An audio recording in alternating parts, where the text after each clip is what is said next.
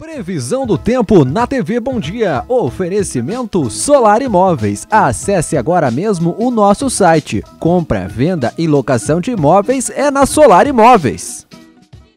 Nesta sexta-feira, uma massa de ar polar de forte intensidade entra com força sobre o sul do país e derruba as temperaturas sobre a região. Além disso, um ciclone extratropical começa a se afastar da costa da região, mas ainda provoca ventos fortes e o mar fica agitado com risco de ressaca para todo o litoral do Rio Grande do Sul e de Santa Catarina. Por isso, nessas áreas pode chover a qualquer hora do dia. A previsão indica neve durante a madrugada e pela manhã nas áreas serranas entre o Rio Grande do Sul e Santa Catarina a possibilidade de geada em áreas do oeste do Rio Grande do Sul e em grande parte do estado do Paraná, incluindo a capital Curitiba. Nas demais áreas da região, o sol vai aparecer entre alguma nebulosidade, mas não há expectativa de chuva. A mínima prevista em Porto Alegre é de apenas 7 graus, 4 graus em Curitiba. A máxima não vai passar dos 11 graus em Porto Alegre e dos 19 graus em Florianópolis.